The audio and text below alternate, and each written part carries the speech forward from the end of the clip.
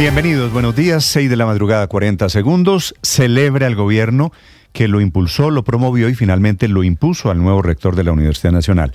Se llama Leopoldo Múnera, que no por coincidencia anoche tarde en su primera declaración en el auditorio León de Grave comienza a hablar de movimiento constituyente dentro de la Universidad Nacional. La sesión del Consejo Superior Universitario, la de ayer, pasará a la historia no solo por lo accidentada, sacaron de la sesión al rector Peña, Tres consejeros se negaron a votar, tres de ocho. Las hojas de vida las llevó el gobierno y no estuvo ni la ministra de Educación ni el ministro ad hoc, que supuestamente era el encargado de este tema, eh, el ministro Correa, el ministro de Cultura. El golpe, la jugada la Universidad Nacional la orquestó el viceministro de Educación, Alejandro Álvarez. Digo, esa sesión del Consejo Superior no fue solo accidentada, sino histórica, porque es la primera vez que el gobierno se mete y da una batalla de esta naturaleza, que muchos interpretan con razón como un golpe a la autonomía universitaria.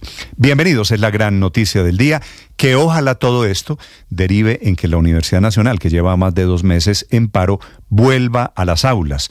El gobierno se metió con el argumento de la democracia, de que había que escoger al que tuvo la mayor votación en las consultas de estudiantes y de profesores. Puede ser suponiendo que el 15% de participación en esa consulta es un gesto democrático, pero termina siendo la gran derrotada la meritocracia. Leopoldo Munera es abogado, nuevo rector de la Universidad Nacional, de la que es profesor desde 1984, y ganó con cinco de los ocho votos. El derrotado Ismael Peña seguirá siendo profesor, pero ya reconoció la derrota, entrega el cargo, pero anuncia demandas que seguramente va a ganar y va a ganar dentro de mucho tiempo. Había ganado tres tutelas recientemente que le reconocieron el derecho al debido proceso y a ejercer el cargo, por eso tan controvertida la elección del nuevo rector. El gobierno termina desdiciéndose y deshaciendo lo que el mismo gobierno ayudó a elegir hace dos meses. Cuando eligieron al profesor Peña, en esas sesiones había participado la ministra Aurora Vergara, que es la ministra de Educación. El nuevo rector había sido el candidato de estudiantes y del presidente Petro desde el principio, por eso lo felicita de inmediato el presidente con confianza, dice felicitaciones a Leopoldo, gran intelectual colombiano, muy cercano Leopoldo Monera, a otro profesor muy activo en todo este proceso, el profesor Rodrigo Uprimi. Tendrá que enfrentar el paro, seguramente tendrá que rehacer el cronograma, el plan de terminación de este semestre y del nuevo semestre, el segundo de este año, que va a ser seguramente corto por cuenta de la suspensión que ya ha superado los dos meses. La inédita elección del rector y también inédita decisión del gobierno de congelar 296 billones de pesos son las noticias del día. Esta muy técnica, muy económica, pero muy importante. Hasta que no se resuelva la crisis fiscal, vamos a estar en un apretón como no se había visto nunca en la historia reciente de nuestra economía. El ministro de Hacienda, Ricardo Bonilla, le bloquea la plata a todo el gobierno, a otros ministerios, agencias del Estado, que se encontraban con las cuentas del banco bloqueadas para temas de inversión social, por ejemplo, y de transporte la congelación de parte del presupuesto público es producto de un gran problema fiscal, un problema de caja, entre otras cosas por el muy bajo recaudo. Dice el ministro, para tranquilizar, que será un bloqueo temporal a la espera de que se expida el decreto y a la espera de que mejore el recaudo de impuestos en el segundo semestre de este año.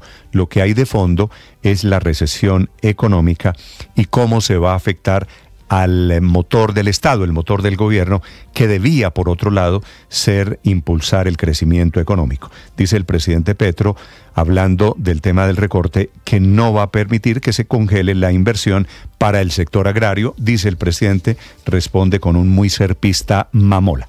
Y hablando del presidente Petro, le vuelve a decir al Banco de la República que por favor baje las tasas de interés, que coincide en ese tema con el banquero Luis Carlos Sarmiento Gutiérrez, que desde Cartagena, desde el Congreso de Aso Bancaria que termina hoy, está en la misma tónica. Y hablando de Petro, les voy a contar de la propuesta del presidente, expresidente Iván Duque, que habla de una alianza de todos los partidos, una especie de todos contra Petro para las elecciones del 2026, que parece poco probable porque en el todos contra Petro está el centro y están diferentes sectores de la derecha. Responde de inmediato el presidente Gustavo Petro desde el departamento del Cesar diciendo que están asustados y puede tener razón. Dice que su progresismo va a ganar del 2026, pero tanto la propuesta de Duque como la respuesta de Petro desde el Cesar lo que quiere decir es está comenzando anticipadamente cualquier movimiento de campaña electoral para las elecciones. Estamos a dos años de ese ambiente electoral. Dice Petro que debería pasar lo mismo en Colombia que pasó en México con el triunfo de la señora Claudia Sheinbaum. Se refiere a ella que es la delfín del presidente Andrés Manuel López Obrador. Todavía no se sabe y se abren las apuestas de quién podría ser el delfín o el sucesor del presidente Gustavo Petro. Bienvenidos, tenemos muchas historias para acompañarlos. Un gusto saludarlos en este día viernes 7 de junio. Hoy es, debería ser festivo en Colombia, hoy padre es el Sagrado Corazón de Jesús, ¿verdad? Claro que sí, una fiesta de las más importantes que tenemos nosotros los católicos. Nosotros creemos que el corazón es el signo del amor. Entonces es, el amor de Jesús. Eh, Juan Eudes decía que es el lugar más ardiente porque es el amor que llevó a que Jesús diera la vida por nosotros. Vamos a hablar de, en este día del Sagrado Corazón, de muchas historias, muchas noticias. Hoy se están cumpliendo ocho meses de la guerra en el Medio Oriente y hay más bombardeos en su ciudad padre, hmm. en Santa Marta. Hay una gran controversia porque el alcalde aparece abrazando en unas fotografías a un señor jefe de los eh, el clan de la sierra, ¿no? De la mafia. Ese es un grupo mafioso que opera allí en el Caribe colombiano. Grupo paramilitar. Ahí también vi, que, que hizo ya, que había puesto una denuncia en su momento sobre eso. Pues en la foto se ve una, una relación muy sonriente de amigos de un alcalde elegido hace apenas siete meses. Bienvenidos, aquí están las historias, las noticias para acompañarlos este viernes, que es víspera de festivo. Hoy termina la asamblea de los bancos en Cartagena y seguramente va el ministro de Hacienda a hablar de ese tema grueso del congelamiento del presupuesto público por el tema de, de que nos quedamos sin plata. Llegó a Barranquilla Shakira. Las historias, las noticias las preparamos en Voces y Sonidos en Mañanas Blue. Gracias a la movilización, estamos acá gracias a los estudiantes, las estudiantes, los profesores, las profesoras, los trabajadores y las trabajadoras administrativas y los egresados y las egresadas. Leopoldo Múnera fue escogido como nuevo rector de la Universidad Nacional. Múnera fue respaldado por cinco de los miembros del Consejo Superior Universitario. Otros tres abandonaron la sesión asegurando que esta elección es ilegal. El proceso constituyente no para.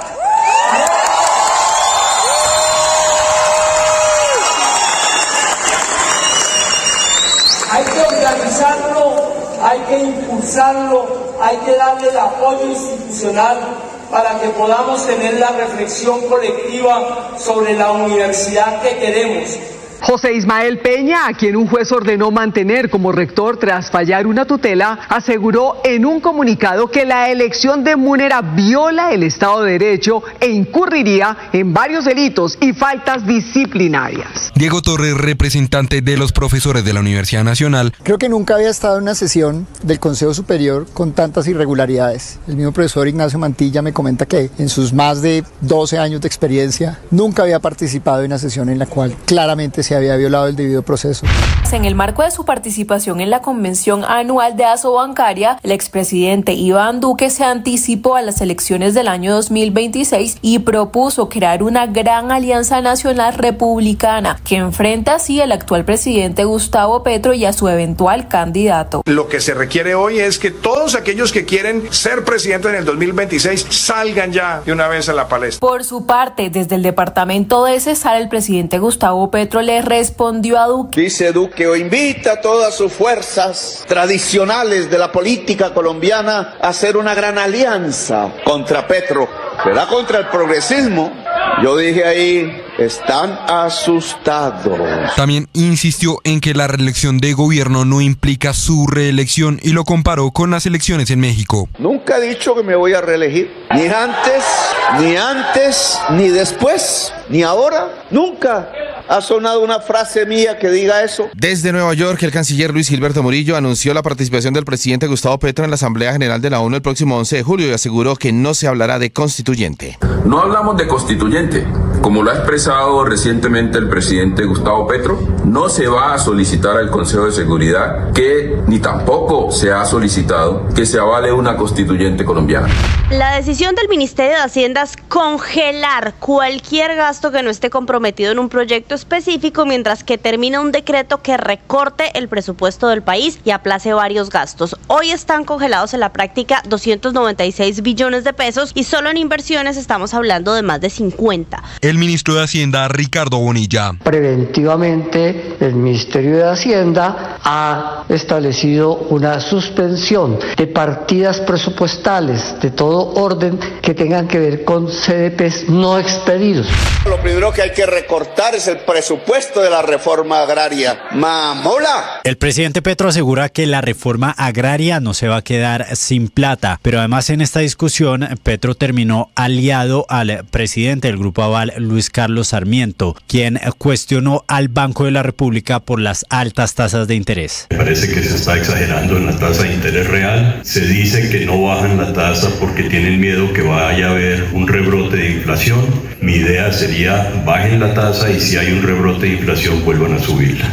La Fiscalía otorgaría principio de oportunidad parcial al exdirector de gestión del riesgo Olmedo López, quien seguiría entregando información valiosa sobre el escándalo de corrupción de carrotanques. En cualquier escenario, López pagaría cárcel porque no tendría inmunidad total. Su abogado, José Moreno. Se siguen recolectando elementos materiales probatorios que van a ser fundamental para el principio de oportunidad. Hoy hemos radicado esa solicitud y esa matriz de colaboración parcial frente al primer caso. La otra semana seguiremos ampliando esa matriz de colaboración frente a los diferentes casos que tiene el señor Olmedo López. El agente interventor de nueva EPS, Julio Rincón, reveló los detalles de la auditoría forense que había sido ordenada por la Junta Directiva. En este se arrojó los resultados sobre 12 millones de facturas correspondientes al año 2019 al 2023, que se encuentran sin auditar. Esto es lo que dijo el interventor. Lo que estamos haciendo, primero aclarar el problema, saber cuál es el problema. Segundo, mejorar la red, interviniendo los municipios, en acompañar a los alcaldes, de los gobernadores, aumentando la capacidad de resolver problemas con tal de que mm, resolvamos allá y no aumentemos el flujo hacia especialistas.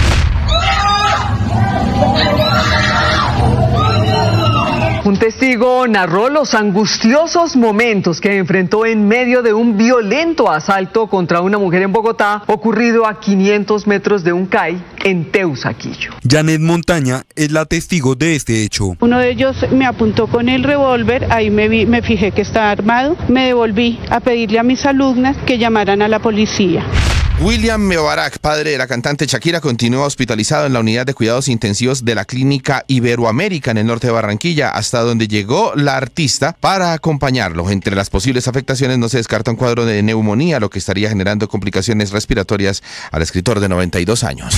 El presidente ucraniano ha vuelto a pedir hoy que se redoble la ayuda militar a su país esta vez desde la Asamblea Nacional Francesa, donde ha tachado a Vladimir Putin de ser la anti-Europa. Anti-Europa. Putin. Mientras tanto, en el campo de batalla, Ucrania ha atacado la ciudad de Lugansk, provocando al menos 22 heridos, mientras que las tropas rusas han sido repelidas en el Donetsk. Hoy se cumplen exactos ocho meses de guerra y ha sido una intensa noche de bombardeos por tierra y aire de la ciudad de Rafah.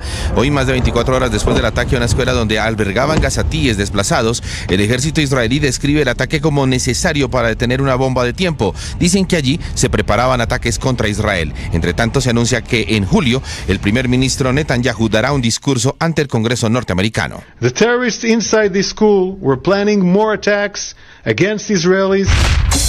A un día de las finales del fútbol profesional colombiano, los equipos finalistas se preparan para este duelo. Independiente Santa Fe anoche viajó a la capital santanderiana en un vuelo charter, mientras que Bucaramanga atendió a los medios. Aldair Gutiérrez, defensor del Atlético Bucaramanga.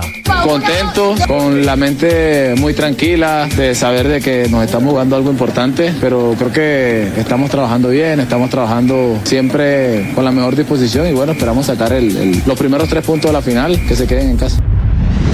Estás escuchando Blue Radio.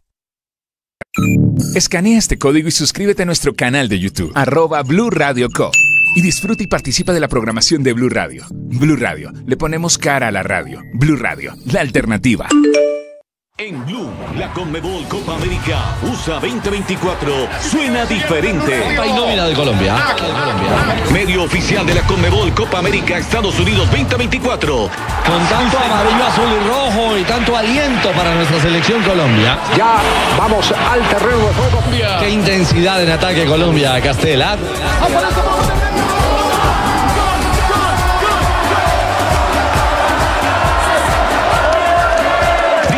De partidos y las últimas jugadas en Blue.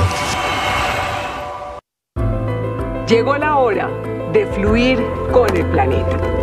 Y actuar para proteger las reservas de agua que nos quedan. Día a día podemos hacer algo para unirnos a la corriente del cuidado del agua. No es un chiste. Debemos cuidar el agua. Unirnos a la corriente de las acciones sostenibles hará la diferencia. Todos podemos ser protagonistas de esta.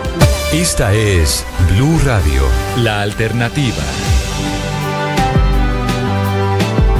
En su primer contacto con los estudiantes anoche tarde en el León de Grave, el nuevo rector de la Universidad Nacional, el profesor Leopoldo Múnera, comienza a hablar de un proceso constituyente dentro de la Universidad Nacional y comienza a dar los primeros pasos para tener cercanía. Dos meses largos estamos cumpliendo, Camila, verdad, con paro de estudiantes con suspensión de clases en la Universidad Nacional. Sí, señor, esto había empezado hace dos meses exactamente. El 4 de junio cumplió dos meses, así que son dos meses y unos días en este paro que anuncia el nuevo rector debe levantarse cuanto antes. Superada la inmensa controversia alrededor de un rector elegido legítimamente por el Consejo Directivo de la Universidad, por el Consejo Superior de la Universidad, y después de las batallas jurídicas y políticas, ahora lo importante es que la Universidad Nacional recupere cierta normalidad. Dijo anoche el profesor Munera Ricardo que los enemigos están adentro de la Universidad Nacional. No sé a quién se refiere no sé si está hablando de quienes votaron por el profesor Peña, no sé quiénes son los enemigos, pero desafortunadamente así termina el tema de la elección, tumbando a un rector y poniendo a otro rector más cercano al gobierno. Sí. Néstor, buenos días. Llama la atención que retoma o asume un tono muy similar en un aspecto al del presidente Gustavo Petro, el nuevo rector de la Universidad Nacional, Leopoldo Múnera. Un tono polarizante cuando lo que debería ocurrir adentro de la universidad es que precisamente hubiese un tono conciliador que recogiera a todos los sectores. Pero acuérdese usted que hay una discusión sobre lo que está pasando en la universidad frente a dos vertientes. Una que consideran quienes hoy apoyan al profesor Múnera que iba más supuestamente dedicada a la mercantilización de la universidad, que estaba muy ligada a la empresa privada y que estaba desdibujando, según ellos, la posibilidad de que haya una verdadera mirada filosófica de la universidad. El otro sector, que es el que por ahora gana esta batalla, Néstor, digo por ahora porque a esto le faltan muchos rounds, es el que considera que la universidad debe ser eminentemente pública, que debe tener una función social mucho más profunda y otros sí, yo creo que vinculados con el gobierno. Estamos hablando, de, Ricardo... De, una de las mejores universidades de Colombia, ¿no? No de una universidad. De una, no, de la Tal vez la mejor. La mejor universidad pública. de la mejor. No, la pública. La pública no hay ranking en el que no la ponga encima no, a siempre todas las demás, incluidas las privadas. La pública, la pública, de acuerdo, es la mejor universidad. Pero no, lo decía Y la privada también. no, no. Eh, la, pero bueno, los Andes, pero digamos, ese no es el tema, Héctor. Eh, Andes y Nacional son las caras de mostrar, que me parece que no está mal recordarlo, porque no estamos hablando de una universidad fallida, no estamos hablando de una universidad de garaje. Esta es la gran universidad para mostrar desde Colombia ante el mundo, así que ponerla, presentarla como si fuera un fracaso de modelo, pues tampoco vamos a caer en eso.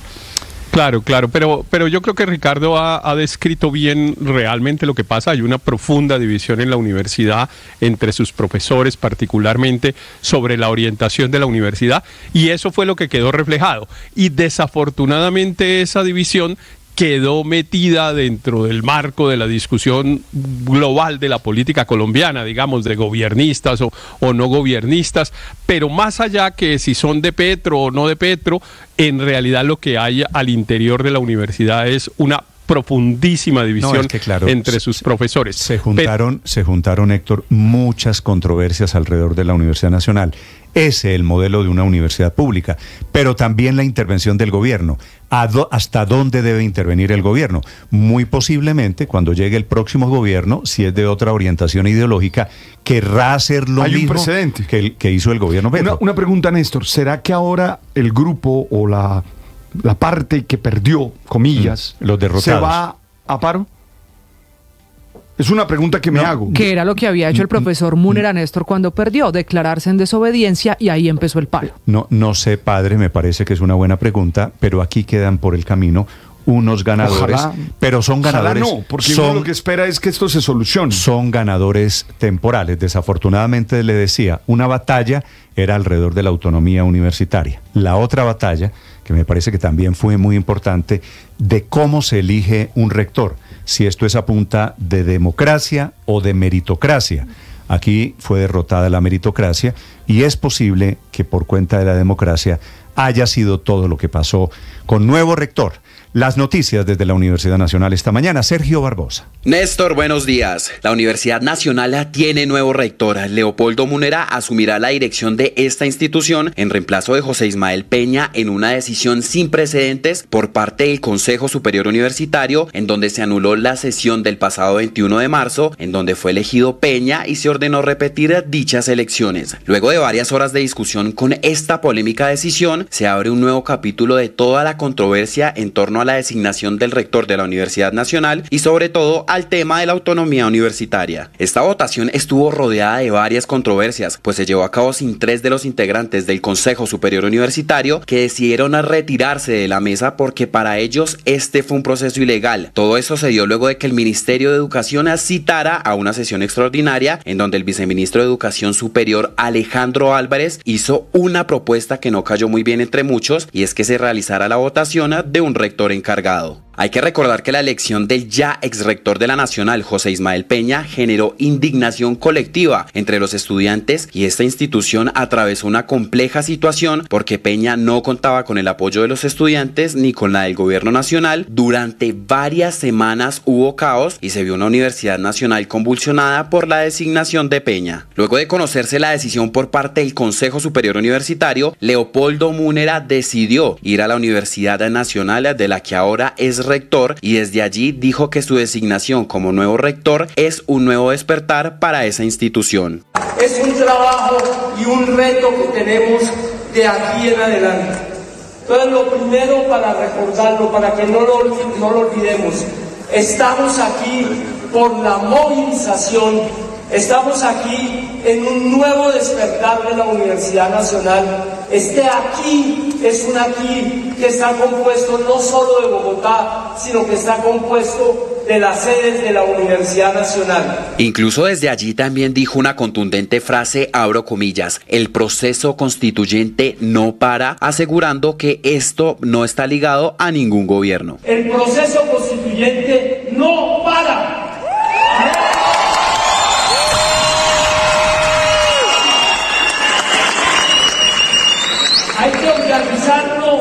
Hay que impulsarlo, hay que darle el apoyo institucional para que podamos tener la reflexión colectiva sobre la universidad que queremos, para que aprendamos a respetar también el pluralismo, a escucharnos, a saber que hay ideas desde diferentes partes. Este es un proceso que no está ligado a ningún gobierno, que viene de atrás, es nuestro proceso.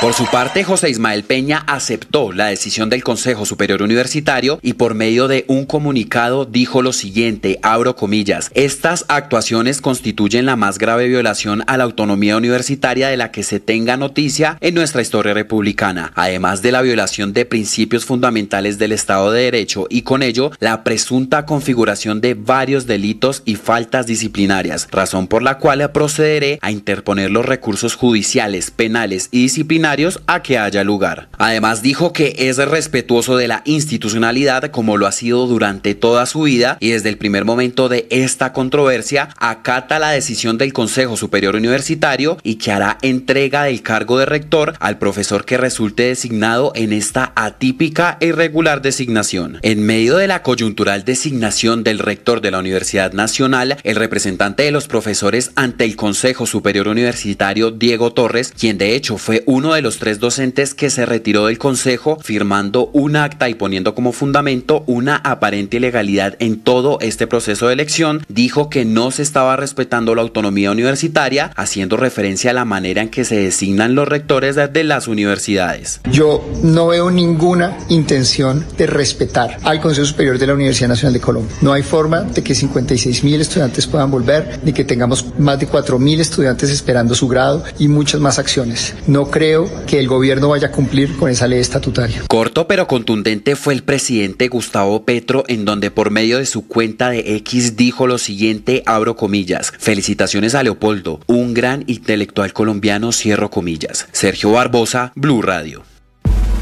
Camila Carvajal es periodista, está en Mañanas Blue. 6 de la mañana, 26 minutos. El trofeo de la autonomía universitaria, que había sido la mayor conquista en las universidades públicas en los últimos 50 años, fue pisoteado en cuestión de horas por el gobierno del presidente Petro, que desconoció en el fondo los mecanismos que estaban establecidos para escoger a un rector, el de la Universidad Nacional. Lo hizo a través del viceministro de Educación, Alejandro Álvarez, porque el gobierno hizo elegir a lo que diera lugar al profesor Leopoldo Múnera como rector por encima de Ismael Peña, que fue el primero elegido. Múnera había sido el candidato de los estudiantes y del presidente Petro desde el minuto cero, pero había perdido incluso por votos en su contra de los delegados del gobierno del presidente Petro en el Consejo Superior. Ahí es donde está la almendra. Los delegados del presidente habían apoyado a Peña y luego cuando el presidente ordena que el rector sea el profesor Munera, se arma toda la crisis. El nuevo rector de la Nacional es profesor allí hace más de 40 años, es abogado, por eso sabe muy bien que lo que pasó en la universidad es un golpe a la autonomía universitaria y se había declarado en desobediencia. Lo hizo hace dos meses para impulsar el paro de estudiantes, que fue la presión necesaria para cambiar el primer nombre elegido, el de su compañero Ismael Peña. No es coincidencia que ahora Múnera amanece hablando de la constituyente universitaria, pero también defendiendo al gobierno. Dice que el enemigo de la autonomía universitaria, que es lo que estaba en juego, no está en el gobierno, sino que está adentro de la universidad, lo que demuestra la fractura, lo fracturada que queda la universidad, la educación superior pública más importante del país. Múnera ganó con cinco de ocho votos posibles, tres de los asientos en este, en este comité se negaron a votar. Es cierto, visto así, con el número ganó la democracia, pero perdió la meritocracia. Su derrota ya la reconoce Ismael Peña, va a entregar la rectoría, va a seguir siendo profesor y anuncia demandas para que lleguen como las tutelas a favor suyo y así seguir adelante en esta novela que seguramente quedará en manos del Consejo de Estado. Paola Ochoa es periodista. Está en Mañanas Blue. 6 de la mañana, 28 minutos. Inédita decisión del Ministerio de Hacienda de congelar el presupuesto ante la caída en el recaudo de los impuestos. 297 billones de pesos que quedan congelados y en stand-by de manera temporal para todas las entidades y agencias del Estado, siendo los mayores damnificados la inversión pública con 50 billones, inclusión social 10.6 billones, transporte 4.5 billones y un largo etcétera de sectores, proyectos y contratos cuyos recursos quedan paralizados, salvo que cuenten con un certificado de disponibilidad presupuestal, es decir, que ya se estén ejecutando. Freno de emergencia al gasto jamás visto y primera vez en la historia reciente que un gobierno toma medidas de este tipo justo antecitos de tener que amarrarse el cinturón y en la víspera de tener que tomar una decisión de fondo sobre cómo le va a meter tijera al presupuesto, cosa que se han tenido que hacer decenas de gobiernos cuando se les despisporran las cuentas y se les descuadra la caja, cosa que también generalmente pasa cuando hay choques externos, crisis políticas y conflictos globales que, por ejemplo, derrumban el barril de petróleo y carecen el costo de dinero en el mundo o disparan el precio del dólar. Crisis externas que suelen acompañar los problemas de caja de los gobiernos, pero que en esta ocasión no existen por ningún lado, pues acá los problemas vienen todos desde adentro, enemigo interno, y desde las entrañas del malísimo recaudo tributario que se ha desplomado 40% en el último año, por el bajo crecimiento de la economía, que creció apenas 0.7% el año pasado, por los golpes de la pasada reforma tributaria que le puso mucho peso a las empresas, por la imposibilidad de recaudar 15 billones en litigios de la DIAN, por los aparentes problemas en la gestión fiscal y claro, por la decisión también de la Corte Constitucional de no aplazar la vigencia del fallo sobre regalías, obligando al gobierno a tener que devolver lo que ya había recaudado por este concepto, tanto el año pasado como lo declarado en renta presuntiva para este periodo fiscal. Ricardo Ospina es periodista.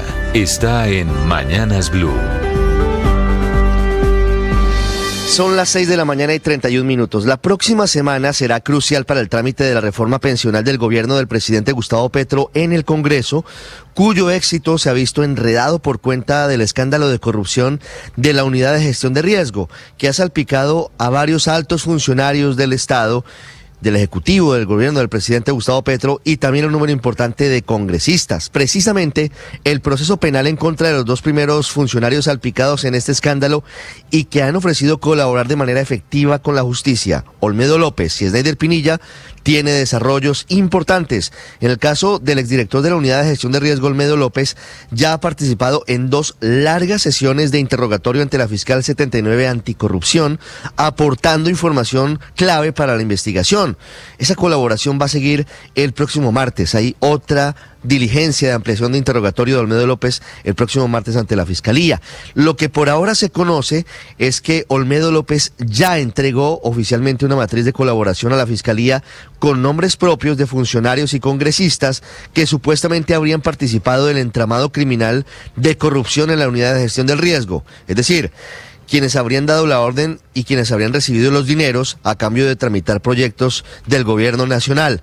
Esta matriz de colaboración es muy importante porque además tiene sustento en elementos que Olmedo López también radicó ante la Fiscalía, que en principio evalúa otorgarle un principio de oportunidad parcial sin inmunidad total, como lo estaba pidiendo Olmedo López. Además se supo que los delitos que queden por fuera de un eventual principio de oportunidad serían objeto de un preacuerdo, es decir, otra figura que le concedería beneficios penales a Olmedo López, quien en cualquier caso, y esto es importante, pagaría una pena que incluye cárcel. No habría inmunidad total y no quedaría libre como si nada hubiera pasado. En el caso del ex subdirector de la unidad, Sneider Pinilla, se supo que tendrá su hora clave ante la Fiscalía el próximo 11 de junio, la próxima semana, para concretar el acuerdo con la justicia, aunque ya se supo que Pinilla evalúa aceptar dos delitos pudieron haber cometido muchos más, pero por ahora evalúa aceptar dos delitos que podrían contemplar una pena también de cuatro años de cárcel. El ventilador está a punto de encenderse y la justicia determinará hasta dónde son ciertas las acusaciones de estos dos funcionarios acusados de corrupción. María Camila Orozco es periodista. Está en Mañanas Blue. Ya son las 6:34 minutos de la mañana. Las desmovilizadas FARC no reconocen, no aceptan que esclavizaron a los secuestrados. Esa negación de las aberraciones de la guerra la hizo el antiguo secretariado en un extenso documento que le hizo llegar a la JEP en el marco del expediente donde se investigan las tomas de rehenes, las torturas y el sometimiento de los secuestrados. Esa fue la reacción, la respuesta a la decisión de la JEP de la acusación, de ratificar la acusación porque cometieron crímenes de lesa humanidad, tortura y otros actos inhumanos como violencia sexual, desplazamiento forzado y esclavitud como una actividad o una práctica generalizada y sistemática contra la población civil. Por ese motivo, los desmovilizados se defendieron con el argumento de que esa organización, para referirse a las FARC, jamás buscó cosificar a las personas ni ejercer ninguno de los atributos del derecho de propiedad sobre su cuerpo. Por el contrario, los hechos, esa es la defensa, correspondieron a dinámicas territoriales acordadas con la comunidad, donde los trabajos se impusieron como castigo, que los trabajos forzados, como construir casas o sitios para disponer la basura, no se orientaron a una persona privada de la libertad con el fin de que sirvieran a la guerrilla de las FARC ni con fines de obtener beneficios distintos producto de esa actividad. Entre los guerrilleros está Rodrigo Londoño, que fue el último comandante de las FARC, que quiere, entre otras cosas, que la JEP emita una única resolución de conclusiones y una única sanción sin especificar por qué y los hechos hechos que cometieron durante el conflicto. No es la única pretensión de los jefes de la antigua FARC quieren que la JEP le anule parcialmente el expediente por el que ya estaban a un paso de llegar al escenario de verificación de los compromisos con la verdad y la reparación para luego llegar a las sanciones estipuladas en el acuerdo final de paz firmado desde el 2016 y así cumplirle a las víctimas. Pero esta decisión de negar que cometieron lo que cometieron es un freno de mano a la Jurisdicción Especial para la Paz que va a tener que posponer o por lo menos prorrogar la decisión de imponer la primera sanción contra los máximos cabecillas de las FARC. Estás escuchando Blue Radio.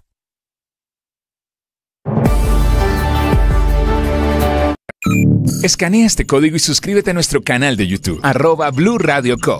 Y disfruta y participa de la programación de Blue Radio. Blue Radio, le ponemos cara a la radio. Blue Radio, la alternativa.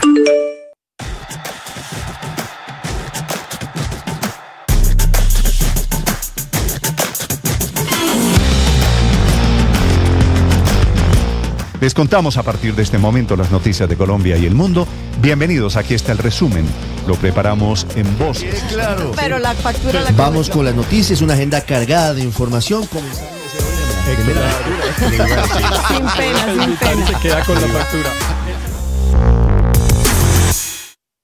En Blue, la Conmebol Copa América USA 2024 suena diferente. Copa y nómina de Colombia.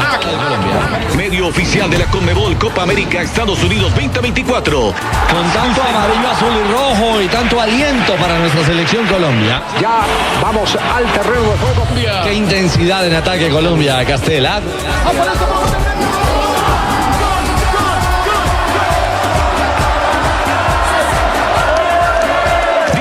de partidos y las últimas jugadas en Blue. Muchos lidiamos con enfermedades mentales y con conflictos emocionales y es muy difícil hablar de eso en voz alta.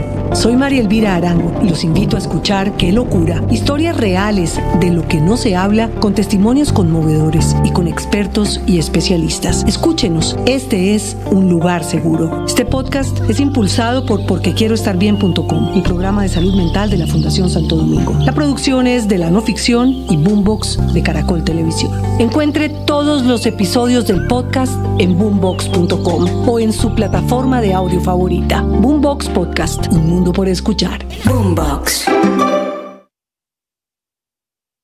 Atención, hay una noticia urgente. Señoras y señores. Tendencia a nivel global. Bienvenida, mil gracias por estar con nosotros hoy aquí en Blue Radio. Usted enfermo por el fútbol y los compañeros de seminario en retiros. Esta es Blue Radio, la alternativa. 9 de la mañana, 38 No, minutos. no, no, seis. Me asusté. Seis, seis. Dijo nueve. Yo dije, Dios mío, esta vaina se fue rápido. Vi el Yo, 6. yo dije, me voy. Vi el, vi el 6 al revés. Pero bueno, mil disculpas. No, padre. no, yo emocionado. No, yo, si usted quiere, yo no tengo problema. No, el que está en la ducha se metió una complicada brava. Acabo, acabo de causar un terremoto. Sí, un poquito. 6 de la mañana, 38 minutos. Padre Linero, buenos días. Buen día, Néstor. Como siempre, feliz, contento, dichoso, iniciando nuestra jornada y tratando de provocar las mejores emociones en cada uno de los vínculos y las relaciones que tenemos. Tema de hoy, padre. Quiero hablar de, de habilidades blandas. ¿Cómo lo llaman? Sí, así, ¿verdad? Habilidades blandas, habilidades No, yo socioemocionales. No, no. Usted, a mí en mi época. No a mí- entiendo el concepto de habilidades blandas, pero Sí, me imagino que es por la traducción del inglés, eh, ¿verdad? Pero mire que a mí en mi época nos decían, usted lo que tiene es que aprender, las capitales, aprender, eh, qué sé, qué sé yo, derivadas, límites, lo que, lo que se aprendió. Pero eso de, de dón- qué hacer con las emociones ni nada de eso, no me enseñaron. Y hoy tenemos claro que sin eso no se puede. Por eso hay tanto genio que no se lo aguanta nadie. Hay un poco de genios que son buenos para hacer cosas, pero aislados de los demás porque la gente dice no, porque no, son, no tienen esa capacidad de relacionarse. habilidades blandas es lo mismo que llaman inteligencia emocional. Tiene que ver con la inteligencia emocional, claro que sí. Tiene que ver con capacidad de conexión, con capacidad de ser dueño. Te hablemos de eso. Vale, ya viene el padre Linero hablando de habilidades blandas. ¿Y hay también habilidades duras? Claro que son las cognitivas. Ok, ok. Mm. Eh, Ricardo, buenos días. Hola, Tenemos mañana Néstor. final del fútbol colombiano. Sí, señor, final del fútbol colombiano. Mm, si quiere ir a ver a la final, si quiere ir a ver al Bucaramanga, aliste la billetera. O ir a ver a Santa Fe. O ir a, sí, ir a, ir a ver a la final, a Bucaramanga, a Santa Fe, a cualquiera de los dos equipos.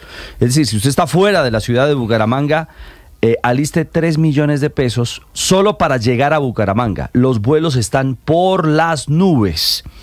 Solamente eh, el tiquete, un vuelo de ida, millón y medio de pesos eh, por vuelo, es decir, tres milloncitos de pesos para ir a ver al Leopardo o al León Cardenal. ¿Cuánto vale, cuánto vale un, un tiquete hoy a Bucaramanga? Tres millones de pesos. Ida y vuelta. Eh, ida y vuelta. Desde Bogotá. Sí, desde Bogotá. Pues en, Bo- en Bogotá es porque en, Bo- en Bogotá están los hinchas de Santa Fe Sí, que son los claro. que querrán ir a ver a la final.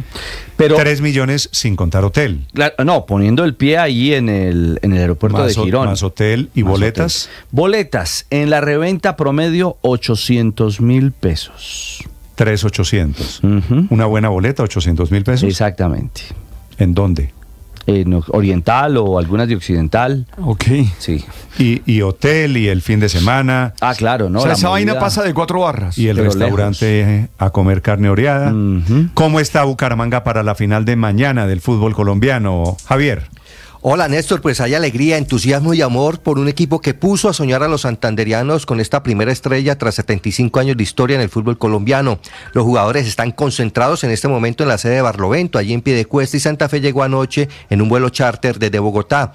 En las calles Néstor se siente el ánimo del triunfo mañana en el Estadio Alfonso López. 27 mil boletas totalmente vendidas. El dispositivo de seguridad será de 500 policías y 100 soldados. Y como decía Ricardo, está llegando gente de Bogotá y ya la ocupación hotelera supera el 82%. También esto, Néstor, ha generado un movimiento de economía como la venta de camisetas, de gorras, de banderas, una economía informal y también formal en la capital santanderiana. El director de FENALCO en Santander, el doctor Almeida, dijo lo siguiente.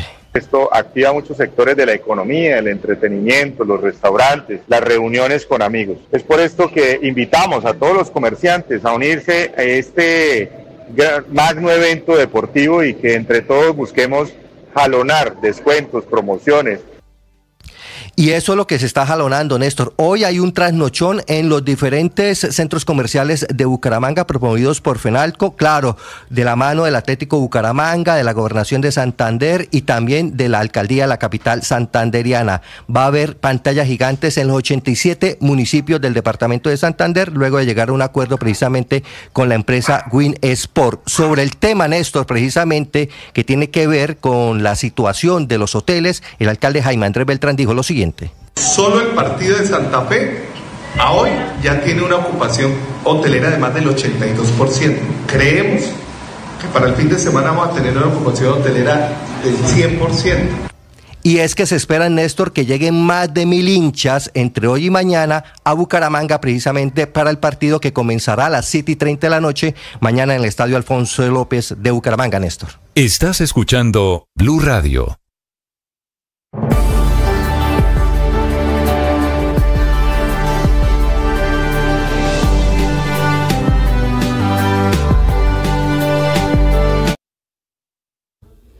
...6.44 minutos de la mañana en Bogotá, 12 grados la temperatura. Escanea este código y suscríbete a nuestro canal de YouTube, arroba Blue Radio Co. Y disfruta y participa de la programación de Blue Radio. Blue Radio, le ponemos cara a la radio. Blue Radio, la alternativa. Atención, hay una noticia urgente. Señoras y señores. Tendencia a nivel global. Bienvenida, mil gracias por estar con nosotros hoy aquí en Blue Radio. Usted enfermo por el fútbol y los compañeros de seminario en retiros. Rezando Rosario y yo.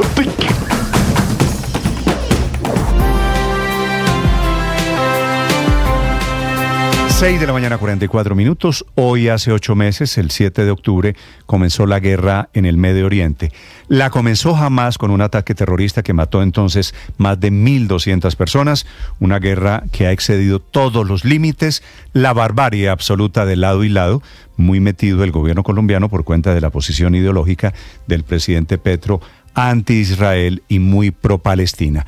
Y esta mañana, en el aniversario de la guerra, no podía ser peor la imagen de más bombardeos y de muchas, muchas decenas de muertos, hoy por cuenta de la actitud del primer ministro Netanyahu. Desde Europa, esta hora Silvia Carrasco. Sí, Néstor, son ocho meses ya, 245 días en total.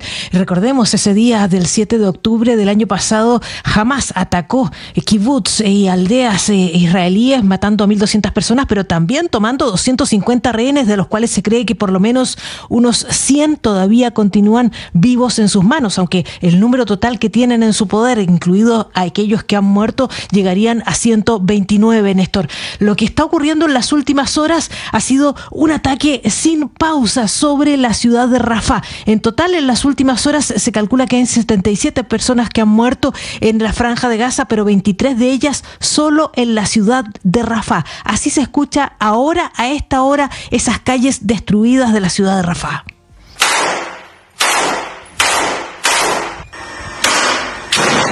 Las agencias internacionales también reportan que se están produciendo feroces tiroteos entre las tropas israelíes y combatientes palestinos liderados por Hamas. Recordemos que allí son varias facciones eh, musulmanas las que están peleando contra Israel. No solamente Hamas, sino que también está la yihad islámica. Lo que ha dicho en las últimas horas eh, el ejército de Israel respecto de ese escándalo internacional que se ha desarrollado por, por esa masacre producida en la escuela de Nuseirat, lo que está diciendo la, la, la Fuerzas Armadas de Israel es que lo que hicieron allí fue acabar con una bomba de tiempo, que allí había, dicen, una, una célula de tanto de Hamas como de la yihad islámica planeando nuevos ataques en contra de los israelíes. Así lo decía Daniel Hagari, el portavoz de las Fuerzas Armadas israelíes. The terrorists inside the school were planning more attacks against Israelis, some of them imminent. We stopped a ticking time bomb. This is this is what it was. Dice que lo que detuvo fue una bomba de tiempo. Dice que ellos incluso atacaron solamente dos aulas dentro del edificio para acabar con esas, con esas células y aseguran haber matado a combatientes. Dieron de hecho algunos de esos nombres. Lo que dice UNRWA, que es la Agencia de Naciones Unidas para Palestina, es que ellos no tienen cómo comprobar esas acusaciones que hace el ejército de Israel. Lo que ellos dicen es que esos son lugares de refugio, que había más de 6.000 personas allí. Así lo decía uno de sus portavoces. This being an UNRWA shelter, up to 6,000 people had sought refuge and safety inside that school, just like many, many other displaced people of the 2 million uh, population of Gaza have been seeking a safe haven, but it hasn't been safe inside UNRWA shelters.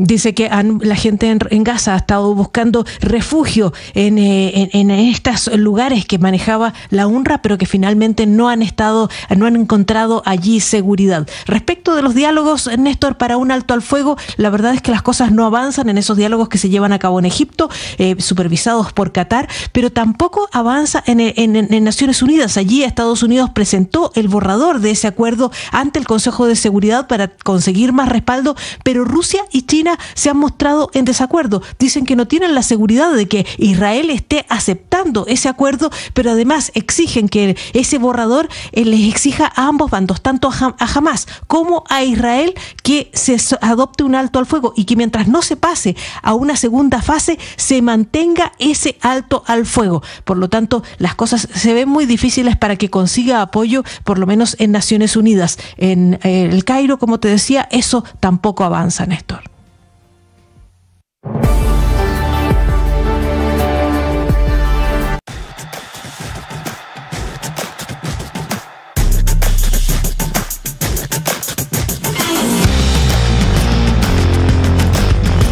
Les contamos a partir de este momento las noticias de Colombia y el mundo. Bienvenidos, aquí está el resumen. Lo preparamos en voz. claro. Pero la factura Vamos con las noticias, una agenda cargada de información. El padre Alberto Linero es periodista y también está en Mañanas Blue. 6 de la mañana, 49 minutos. Hay personas con grandes habilidades cognitivas que fracasan en su vida por no saber relacionarse con los demás. Son esos genios retraídos y aislados a quienes les resulta difícil conectar emocionalmente con las otras personas. Hoy en día, cada vez más, tenemos claro que la educación debe ser integral y responder no solo a las exigencias del conocimiento, sino también a las que nos plantean la vida en sociedad. Por eso cada vez se trabaja en el desarrollo de las llamadas habilidades socioemocionales, que podemos entender como ese conjunto de competencias que permiten a las personas comprender y gestionar sus emociones, establecer y mantener relaciones positivas, tomar decisiones responsables y enfrentar desafíos de manera constructiva. Debo decir que durante mi formación primaria y secundaria estos temas no eran importantes. Lo fundamental era adquirir los conocimientos que nos permitieran responder a las exigencias académicas. Afortunadamente, se ha tenido claro que el aula no puede ser una suspensión de la vida y que en ella se debe formar al estudiante de manera integral. Por eso hoy, con pedagogías adecuadas, se trabaja en la autoconciencia, es decir, en la capacidad de reconocer y comprender las propias emociones, pensamientos y valores y cómo estos influyen en el comportamiento diario. También en la autorregulación, que es la capacidad de manejar y controlar las propias emociones para responder a los distintos estímulos que se reciben. Además, se trabaja en la definición de metas, es decir, la capacidad de establecer y trabajar hacia objetivos personales y académicos, manteniendo el esfuerzo y la perseverancia a pesar de los obstáculos normales que hay en la vida. Y claro, en la empatía, que es esa capacidad de entender y compartir los sentimientos de los demás y de reconocer diferentes perspectivas para interactuar de manera efectiva con los otros y así poder tener una relación saludable. Oye, yo creo que de muy poco sirve propiciar un gran desarrollo cognitivo si esas personas no saben cómo llevar un proyecto de vida emocionante y con sentido. Si esas personas no son capaces de asumir la responsabilidad social que tiene. ¿De qué sirve ser genio si nadie se lo soporta? Las victorias y derrotas, la pasión y la afición en juego y los datos de lo último en deportes se lo presenta Mañanas Blue. Ya son las 6 de la mañana, 52 minutos, momento de hablar de deportes, momento de hablar de la finalísima del fútbol colombiano. No hay boletas, en Bucaramanga se agotó el tiquete, ya no hay venta oficial de boletería para el juego eh, de mañana a las 7 y 30 de la noche en el estadio Alfonso López entre Atlético Bucaramanga e Independiente Santa Fe. Este será el primero, el juego de ida de la final del fútbol profesional colombiano.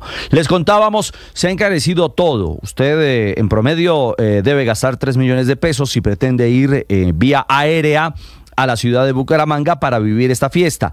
Y la reventa está hecha, por supuesto, todo un carnaval eh, en producto de la boletería que ha caído en manos, lamentablemente, de los revendedores para este primer compromiso. Una ciudad embellecida, un Independiente de Santa Fe que ya está, llegó la noche anterior a la ciudad bonita, mientras que el Bucaramanga realizó su última jornada de trabajos en el estadio a puerta cerrada, pero con contacto a la gente y la prensa. 500 policías, 100 mm, militares, 600 efectivos estarán custodiando mañana esta primera jornada y hoy el primer acto oficial será la rueda de prensa a las 6 de la tarde en el Hotel Holiday Inn en el Salón Platino, donde estarán técnicos y capitanes, tanto de Bucaramanga como Santa Fe, analizando lo que será este primer compromiso. Wilmar Roldán será el árbitro central del el primer partido de la final que se realizará a las 7 y 30 de la noche y que estará aquí en la señal de Blue Radio. Hablamos de Colombia en la Copa América, en el proceso eh, previo a este certamen que arrancará el 20 de junio. La selección cumple hoy ya su segundo día de trabajos en Washington, en los Estados Unidos. Los 28 llamados habilitados. Y hoy, sobre las 9 y 15 de la mañana, habrá conferencia de prensa en el hotel de concentración con el técnico Lorenzo. Pensando en qué y hablando sobre qué, el rival de mañana, que será la selección de los Estados Unidos. Es el primero de dos juegos preparatorios que tendrá Colombia en territorio norteamericano antes del debut copero. Primero ante Estados Unidos, mañana sábado 4 y 30 de la tarde y el próximo sábado 15 frente a la selección de Bolivia. El equipo Después de atender a los medios de comunicación en la mañana, tendrá jornada de entrenamiento a las 3 y 30 en eh, la cancha del Episcopal, un college, un colegio en Virginia, allí cerca al sitio de concentración del conjunto colombiano. Mañana Colombia, Estados Unidos, a partir de las 4 de la tarde con señal de Blue Radio y del Gol Caracol. Y ustedes recuerdan en las últimas horas la eh, grave caída, la caída masiva de ciclistas en la etapa 5 del Criterium du Dauphiné en Francia.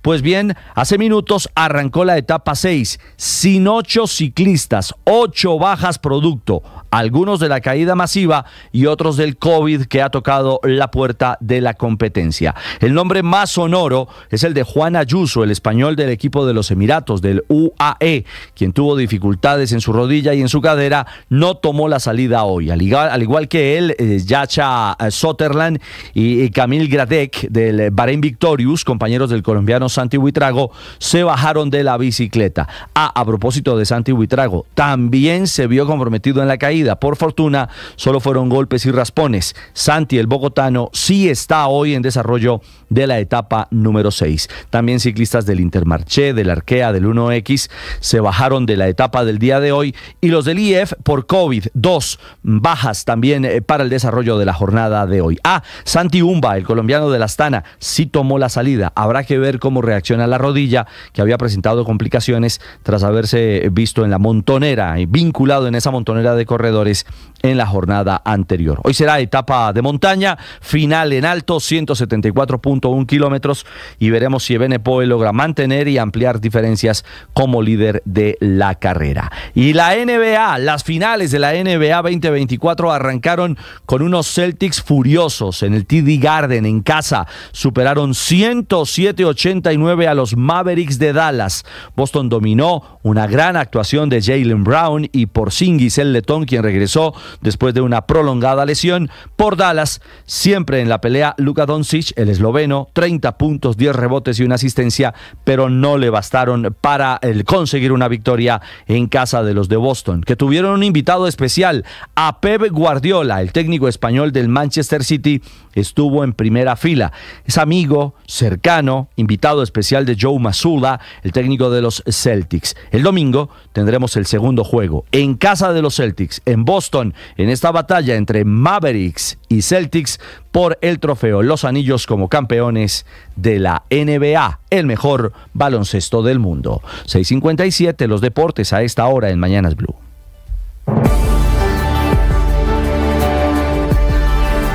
Blue, la Conmebol Copa América USA 2024 suena diferente. Hay nómina de Colombia. Medio oficial de la Conmebol Copa América Estados Unidos 2024. Con tanto amarillo, azul y rojo y tanto tanto aliento para nuestra selección Colombia. Ya vamos al terreno de juego. Qué intensidad en ataque Colombia, Castela.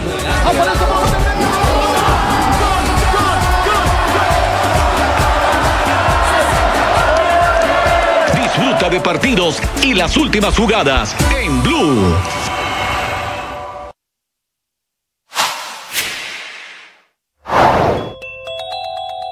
Inédita decisión del gobierno de congelar 296 billones de pesos son las noticias del día.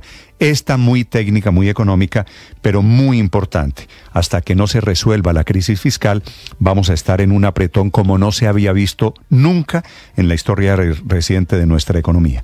El ministro de Hacienda, Ricardo Bonilla, le bloquea la plata a todo el gobierno, a otros ministerios, agencias del Estado, que se encontraban con las cuentas del banco bloqueadas para temas de inversión social, por ejemplo, y de transporte. La congelación de parte del presupuesto público es producto de un gran problema fiscal, un problema de caja, entre otras cosas por el muy bajo recaudo. Dice el ministro, para tranquilizar, que será un bloqueo temporal a la espera de que se expida el decreto y a la espera de que mejore el recaudo de impuestos en el segundo semestre de este año. Llegó la hora de fluir con el planeta y actuar para proteger las reservas de agua que nos quedan. Día a día podemos hacer algo para unirnos a la corriente del cuidado del agua. No es un chiste. Debemos cuidar el agua. Unirnos a la corriente de las acciones sostenibles hará la diferencia. Todos podemos ser protagonistas de esta gran historia. Cuidar el agua, la corriente que nos une.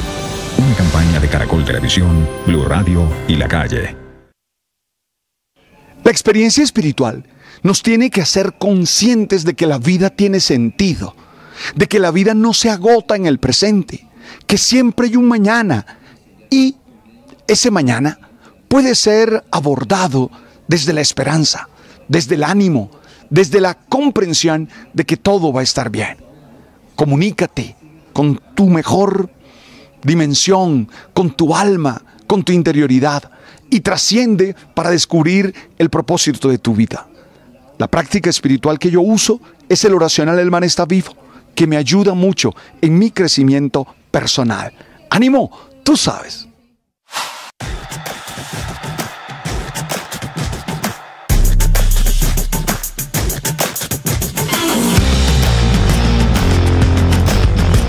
Les contamos a partir de este momento las noticias de Colombia y el mundo. Bienvenidos, aquí está el resumen. Lo preparamos en voz. claro. Pero la factura la Vamos con las noticias, una agenda cargada de información. Comenzamos Sin pena, sin